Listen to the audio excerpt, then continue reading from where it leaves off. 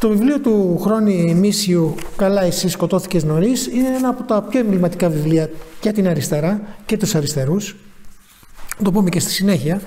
Ε, και καλύπτει μια περίοδο δύο δεκαετιών κρίσιμη. Και για την Ελλάδα και για την ανθρωπότητα, εγώ θα πω. Ακριβώς. Και για την Ελλάδα και για την ανθρωπότητα. Επομένως, ένα τόσο σημαντικό αφήγημα, εντάξει, αυτοβιογραφικό είναι, αλλά είναι πάρα πολύ σημαντικό.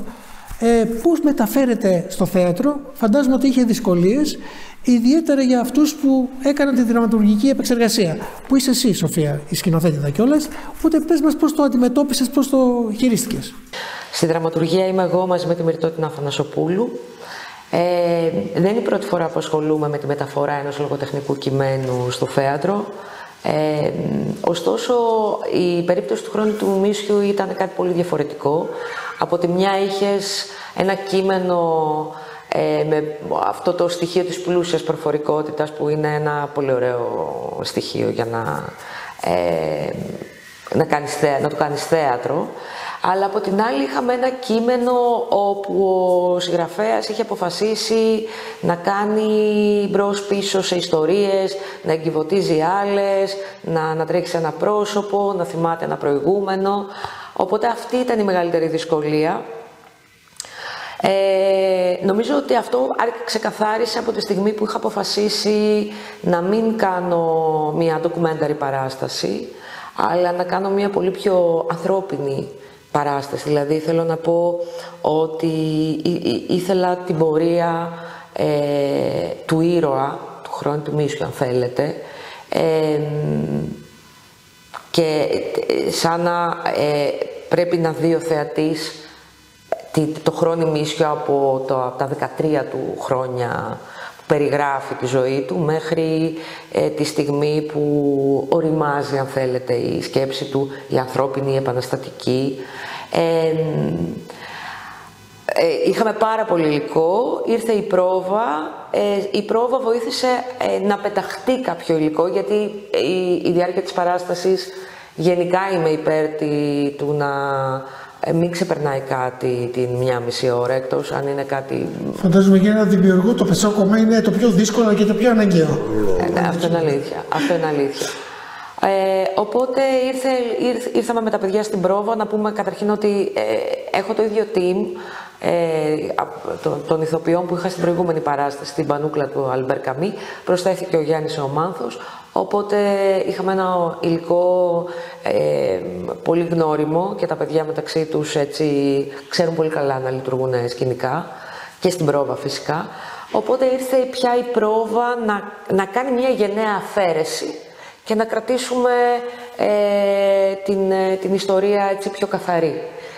Ε, κάπως έτσι δηλαδή διαμορφώθηκε το κείμενο. Εσύ σαν ηθοποιός πώς το είδες και πώς το δούλεψες; Εγώ θέλω να πω ότι όταν ήρθε η κυρία Μίσιου η Ειρηνιό ε, και είδε την παράσταση ε, μας είπε ότι τα βάλατε σχεδόν όλα παιδιά μέσα. Δηλαδή ε, η εμπειρία που έχουμε από τη λογοτεχνία όλα αυτά τα χρόνια με τους γκαφ ε, νομίζω ότι βοήθησε σε αυτό. Εγώ ως ηθοποιός ε, ε, είχα να αντιμετωπίσω ε, ένα κείμενο το οποίο είναι θρύλος, όπως είπαμε. Ε, μέχρι την πρεμιέρα δεν είχα συνειδητοποιήσει τι πάμε να κάνουμε. Μετά μόλις ήρθε στην πρεμιέρα η Ειρηνιό, λέω τι κάνουμε; Θα, ε, θα έρθουν να το δούνε αυτό το πράγμα. Ε, και παρότι που είμαι αρκετά έμπειρος στο θέατρο, ε, εκείνη τη στιγμή αισθάνθηκα ότι έχω ένα θράσος συσσαγωγικά που τολμήσαμε να πιάσουμε αυτό το πράγμα. Βέβαια, στη διάρκεια των προβών δεν το αισθανόμουν αυτό, γιατί ήμουν πολύ σίγουρος για τη δουλειά που κάνουμε. Είμαστε μια δεμένη ομάδα με τον Δημήτρη, τον Μαμιό, τον Κωνσταντίνο, τον Μπασά και τον Γιάννη τον Μάνθο. Ε, και μόλις βρέθηκε ε, ο κώδικας της παράστασης γύρω από ένα τραπέζι, τότε όλα κύλησαν ομαλά. Ε, είχαμε, είχε ζητήσει και η Σοφία και συμφωνήσαμε και όλοι να μην πάμε σε φόρμα προηγούμενων έργων που η κινησιολογία είναι βασικό ε, στοιχείο των παραστάσεων μας και εδώ όμως έχει, αλλά να, να σταθούμε πιο πολύ στο, στο ανθρώπινο στοιχείο ε, που βγάζει αυτό το έργο. Για μένα ο Μίσιος είναι βαθιά ανθρωπιστής. Ε, εδώ πέρα έρχονται άνθρωποι που συγκινούνται γιατί κάποιοι άλλοι άνθρωποι έκαναν κακό σε κάποιους ανθρώπους ε, τρομάζουν και συγκινούνται από αυτό το πράγμα ε, και δεν νομίζω ότι είναι τόσο δυνατά συναισθήματα που το βλέπουμε και στην προσέλευση του κόσμου γιατί είμαστε ένα μήνα μπροστά ε, σε sold out ε, στην παράσταση και αυτό είναι κάτι που όχι μας γεμίζει μόνο χαρά, δικαιώνει και αυτό το θράσος ας πούμε που έλεγα πριν ε, που είχαμε. Ε, και συνειδητοποίησε ότι αυτό το έργο τότε που ήταν πρώτος σε κυκλοφορία το 85 που κυκλοφόρησε. Bestseller Ναι, ναι, ήταν bestseller. Συνειδητοποίησε ποια είναι η δύναμή του και το συνειδητοποίησε όχι μόνο σε μεγαλύτερους ανθρώπους ηλικία, αλλά και σε πολύ νεότερους.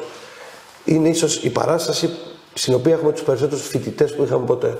Α, ναι, ναι. και ήθελα να ρωτήσω αυτό για τη σύνδεση του κόσμου. Αλλά πριν πάμε εδώ, γιατί είναι πραγματικά ένα ολόκληρο θέμα και εμάς μας έκανε εντύπωση, ε, εμένα και του Βασίλη, το πόσο νεαρή ήταν και δεν ήταν. Περιμέναμε μεγάλη και μεγάλη, αλλά ήταν πολύ ωραία η σύνδεση του κόσμου.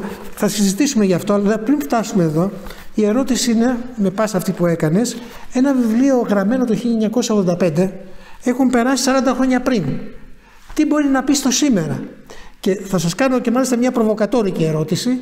Η κοινωνία έχει αλλάξει δραματικά όχι μόνο στην 20 ετία που περιγράφει το βιβλίο, αλλά και από τότε το 85 που έχει γυριστεί, η ελληνική κοινωνία έχει μικροσκοπηθεί τρομερά. Είναι μια κοινωνία πια που παρά τα μνημόνια έχει ένα πολύ μεγάλο μικροστικό στρώμα. Τι μπορεί να της λέει τα βασανιστήρια, ε, οι φυλακίσεις, τα οράματα; Να απαντήσω πρώτος. Θέλω να απαντήσω γιατί ε, το δεύτερο που συνειδητοποίησα στην Πρεμιέρα, εκτός του ότι θα έρθει να μας δει Ρινιό και ότι το θράσος μας και αυτό που είπα, είναι ότι και βγαίνοντας το είπα, η παράστασή μας παίζεται στη σωστή στιγμή.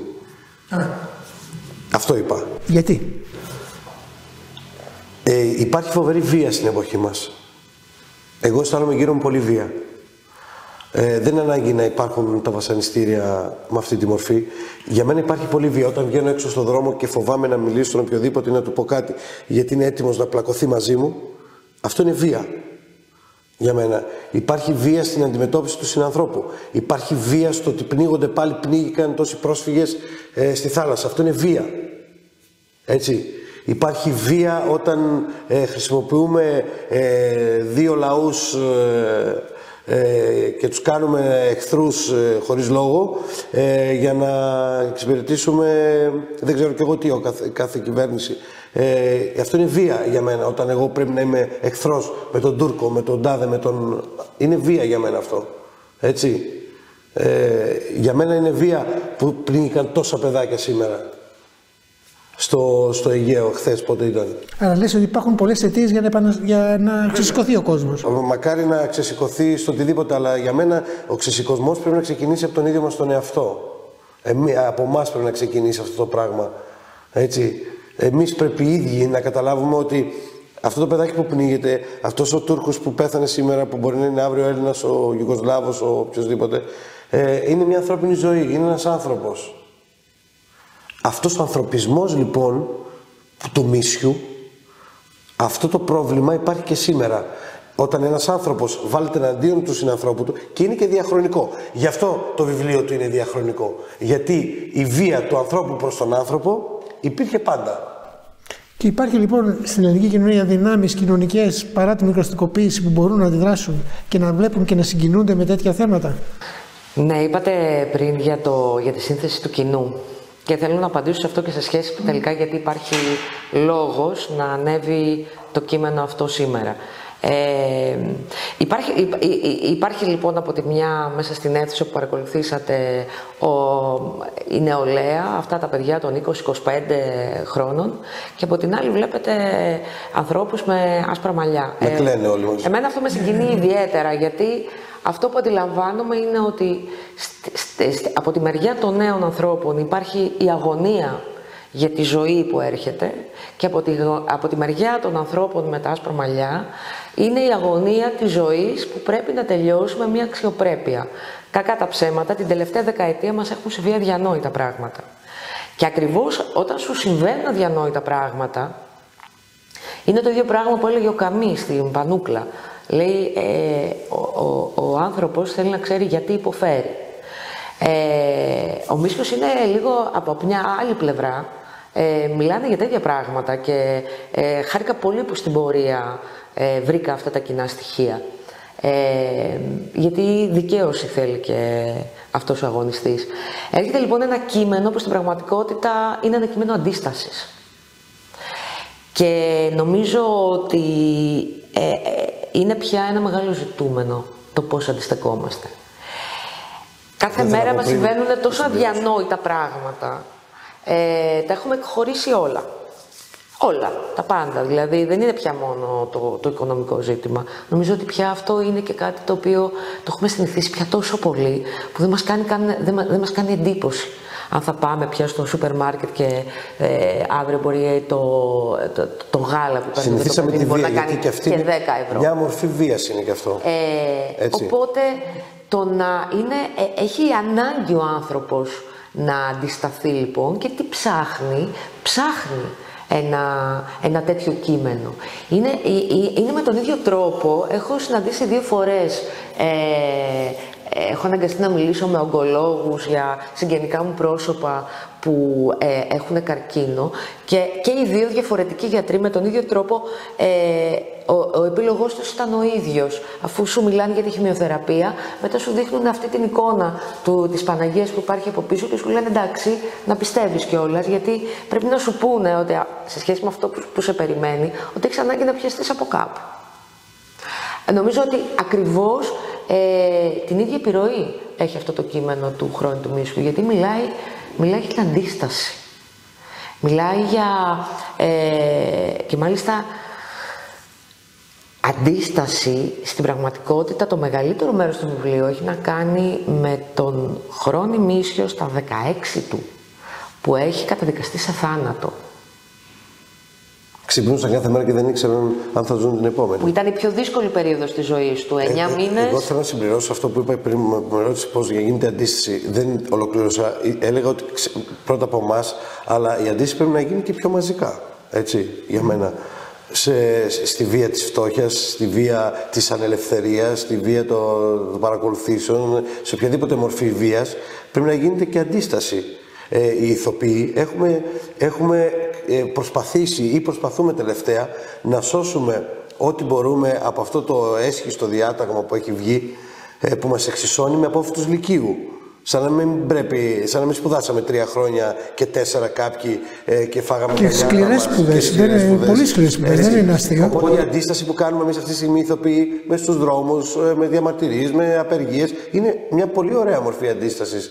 Υπάρχει και αυτή η αντίσταση. Δηλαδή υπάρχουν πολλές μορφές αντιστάσεων εκτός από την προσωπική, που για μένα από εκεί πρέπει να ξεκινάς. Τώρα, ένα εντυπωσιακό στοιχείο που νομίζω ότι βγαίνει και μπράβο σας κιόλας και στους ηθοποιούς και στους σκηνοθέτες και τους δραματουργούς που, που επεξεργάστηκαν δημιουργικά ένα στοιχείο του, που είναι πολύ εντυπωσιακό του Μίσιου είναι ότι ένας άνθρωπος που βασανίστηκε τόσο πολύ και έφτασε να βλέπει κριτικά και την ίδια του την ιδεολογία και τα ίδια του τα πιστεύω. Αυτό είναι γιγαντιαίο κατά τη γνώμη μου, το Μίσιο και που δημιουργεί ξέρεις, και ανθρώπους οι οποίοι του κάνουν κριτική στην αριστερά ότι έλεγε πράγματα όπως ευτυχώς δεν νικήσαμε και διάφορα τα οποία παρουσιάζεται και στο, και στο θεατρικό. Όμως δεν το λέει με μια μίζερο πράγμα, όχι με ένα συντηρητικό πράγμα, αλλά με έναν ριζοσπαστικό τρόπο. Δηλαδή, στέκομαι κριτικά απέναντι στην ιδεολογία μου και είμαι ικανό, αλλά πάντα μέσα στο όραμα της απελευθέρωσης, μέσα σε ένα επαναστατικό όραμα. Και είναι εντυπωσιακό στοιχείο. Υπάρχει, δηλαδή, βλέπεις το έργο παρά τα βάσανα, το χιούμορ, ε, την αμφισβήτηση. Νομίζω ότι είναι πολύ φανερό σε όλο το έργο ότι έχει δύο δυνάμεις που τους συμπιέζουν, συμπιέζουν αυτά τα παιδιά. Η φασιστική πλευρά της χώρας και των Γερμανών και πιο πριν και το κόμμα τους. Δηλαδή δεν τους άφηνε ούτε να αυτοκτονήσουν. Ναι, είναι κόντρα στη γραμμή του κόμματος. Ναι. Ορίζει τη ζωή του. Έτσι. Ναι, δεν, δεν αρνείται όμως για να, να είμαστε και πιο συγκεκριμένοι, δεν, δεν αρνείται την ιδεολογία του ποτέ. Ασκεί κριτική στην καθοδήγηση. Είναι δύο τελείως διαφορετικά πράγματα. Έφαγε τόσο ξύλο για μένα που δεν μπορεί κανείς να του πει τίποτα. Έφαγε τόσο ξύλο που δεν μπορεί κανείς να του πει τίποτα. Ποιος να του πει, το λέει στο τέλος σε έναν παλιό σύντροφο. Λέει, του λέει, τι να μου πεις, πού, πού ήσασταν εσεί όταν εγώ έτρωγα ξύλο; Και έχασα τα χρόνια μου από το 16 μου μέχρι που μεγάλωσα. 21 χρόνια σε φυλακές και εξορίες νομίζω ότι είναι αρκετά για να μπορέσει ένας άνθρωπος να μιλήσει. Απλά ο χρόνος ο Μίσιος μίλησε. εκεί ήταν το μεγάλο, ναι, ναι, και εκεί ήταν το μεγάλο σοκ, αν θέλεις, σε σχέση και με αυτό το ότι ταρακούνησε τα, τα νερά. Ε, υπήρχε ένα κομμάτι της αριστεράς που θεώρησε το βιβλίο προδοτικό. Ε, ωστόσο, του νομίζω, ναι, ε, είχε να κάνει, είχε να κάνει με, με την καθοδήγηση και όχι με την ιδεολογία του. Είναι πάρα πολύ αισιόδοξο το, το, το βιβλίο. Νομίζω και, και ο ίδιος ήταν, δεν ήταν ένας άνθρωπος, ε, ακόμα και, και, όταν έφυγε από την, την αριστερά, πάλι προσπαθούσε να βρει τρόπους. Δηλαδή το ότι κατέφυγε ακόμα, ακόμα αν θέλετε και αυτό στη σωτηρία της φύσης, ότι ε, έπρεπε να είναι επαναστατικός μέχρι την τελευταία του μέρα. Ψαχνότανε. Και αυτό είναι πολύ σπουδαίο. Ψαχνότανε. Έρχονται εδώ παιδιά, ήρθαν τις προάλλες παιδιά, που μας έλεγαν ε, εγώ πήγαινα στο σπίτι του Χρόνιου. Φυσικά. Πήγαινε, πάει, πήγαινε κόσμο στο σπίτι του και μιλούσανε. Είχε τα παιδιά και τα μιλούσε, γιατί ήταν και καθοδηγητής και ο ίδιος παλιότερα και τα μιλούσαν. Μιλούσε με παιδιά με νεολαία και έρχεται εδώ και μας το λέει, μας λένε τα παιδιά ότι εμείς πηγαίναμε σπίτι του και μας μιλούσε ο άνθρωπος αυτός. Είναι πολύ συγκινητικό. Την άλλη φορά κοντέψαμε ένα παιδάκι, δεν το πάρουμε σηκωτό γιατί έκλαιγε, δεν σηκωνόταν από το, από το κάθισμα. Το λέω και να τριχιάζω. Είναι... Επίσης διαπιστώνω ότι όλοι έχουν συγγενείς που έχουν περάσει τα ίδια. Είναι, είναι πολύ Πολλοί κόσμος. Πολλοί κόσμος. Φυσικά γιατί... Ναι. Όχι, όχι. Που, όχι, που έρχονται και βλέπουν και μας λένε για γιατί δικές ήταν, τους ιστορίες. ναι, ναι, γιατί ήταν ο παππούς στην εξορία, γιατί ήταν ο πατέρας στην εξορία, γιατί... Α, Κοινωνικά εγώ- φρονήματα και όλα τα ναι, συναφή. Με, ο πατέρας μου το Μίσιο το συνάντησε στην Ικαρία, ο άλλος στη Μακρόνησο. Ε, τα, τα ακούμε καθημερινά. Δεν είναι δηλαδή... Απλά ο Μίσιος τόλμησε να μιλήσει. Να πούμε για τους συντελεστές της παράστασης, τους άλλους συντελεστές Ναι. της παράστασης, το μέρος που παίζεται προφανώς και τις μέρες ε, που γίνεται η παράσταση.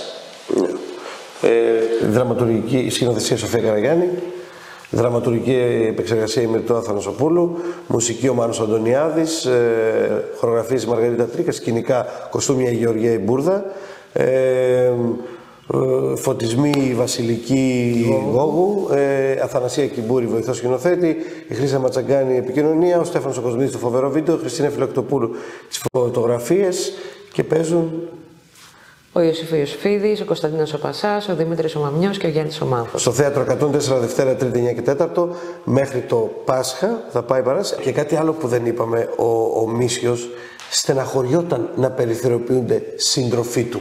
Γιατί είχαν μια διαφορετική γνώμη. Όπως αναφέρει και ένα περιστατικό με τον Μελογιάννη που τους τα είπε χήμα και τσουβαλάτα για αυτό το λόγο. Πίστευε ότι και κάποιες αποκλήσεις να υπάρχουν, όλοι μαζί μπορούν να κάνουν ε, χωριό. Εγώ τελειώνοντας μόνο θα ήθελα να πω ότι αφού είδατε και την παράσταση και είδατε ότι όλα αυτά γίνονται γύρω από ένα τραπέζι. Το τραπέζι αυτό δεν, θέλουμε να πούμε ότι δεν έχει επιλεχθεί τυχαία.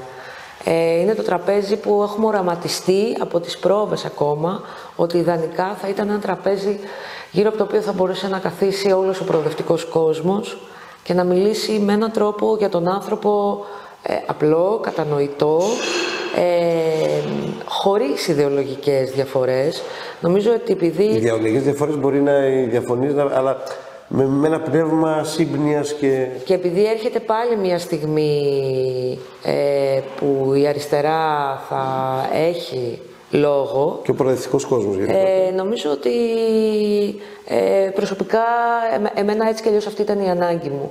Ε, να, να, να, να μπορέσω μέσα από την παράσταση να φύγει κάποιος και να θεωρήσει ότι ε, πρέπει, πρέπει να καθίσουμε σε αυτό το τραπέζι σαν μια οικογένεια. Και να είμαστε άνθρωποι. Αφού μας καίνε τα ίδια ζητήματα. Είναι ανθρωποκεντρικό το έργο για μένα.